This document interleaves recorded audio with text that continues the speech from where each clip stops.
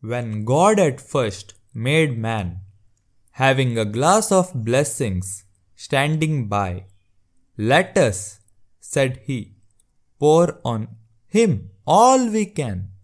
Let the world's riches which dispersed lie contract into a span. So strength first made a way, then beauty flowed, then wisdom, honor, pleasure.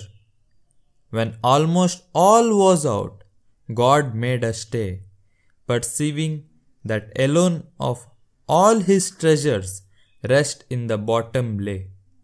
For if I should, said he, bestow this jewel also on my creature, he would adore my gifts instead of me and rest in nature, not the God of nature.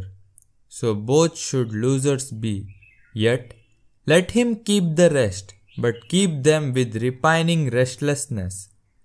Let him be rich and weary, that at last, if goodness lead him not, yet weariness may toss him to my breast. George Herbert